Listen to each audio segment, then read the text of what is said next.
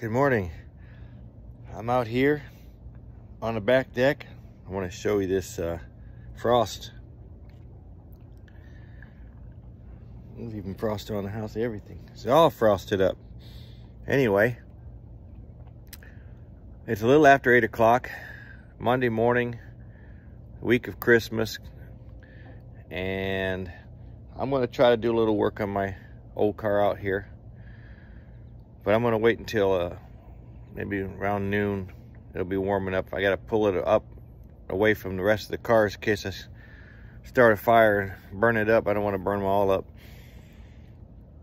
I'm gonna cut out the floorboard, maybe just in sections. We'll see.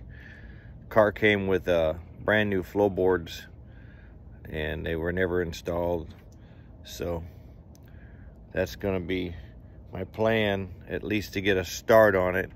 I don't have a garage, so I just do everything out here and uh, try to get her done.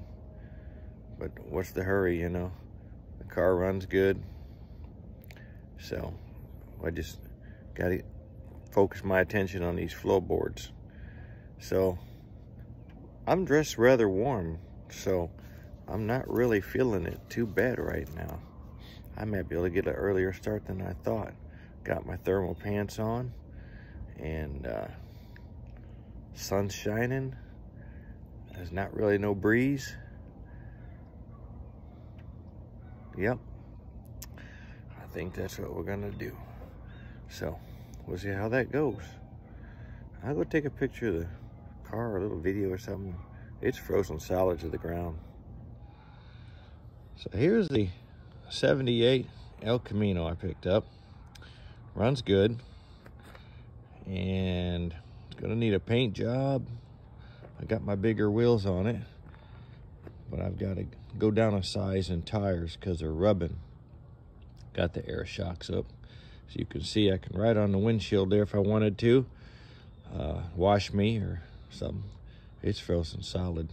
But I'm gonna turn the key later and I know it's going to pull right out of it because, uh, like I said, it runs and it runs fine. But I can't have it too close to the other cars here. Welding on it, cutting on it. In case I start a fire, that wouldn't be good at all. So that's the plan. Get it out and start cutting on the floorboards.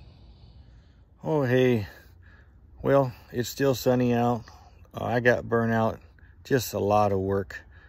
Ripping the floorboards out, all that rusty stuff, and grinding and cutting. Then my welder wouldn't work. Got jammed up. Had to take it halfway apart. Got it fixed. And uh, had to do some grinding and cleaning up so I just I could get down to the bare metal and do some work. And ended up finding a lot of water in the car in this blanket and stuff because it's it's got bad seals. I've ordered new seals. So anyway, um, in trying to move the car, I couldn't get forward or reverse.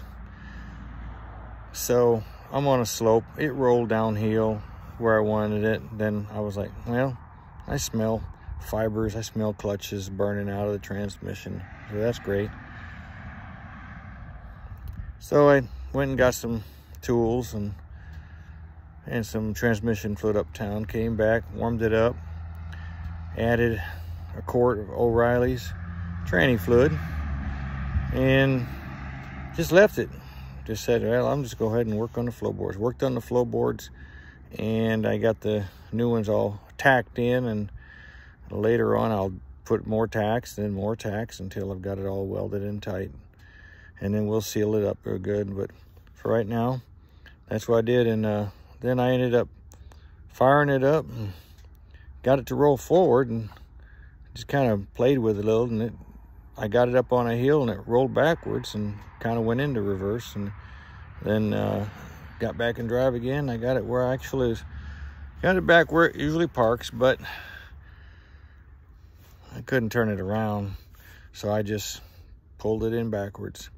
So we'll see if I can get it out of here one day. Might need a transmission. I still haven't worked on the front brakes. I got a torch I bought, but you know, that's for another day. So as of right now, that's it. I'm tired. I'm going to have a cup of coffee.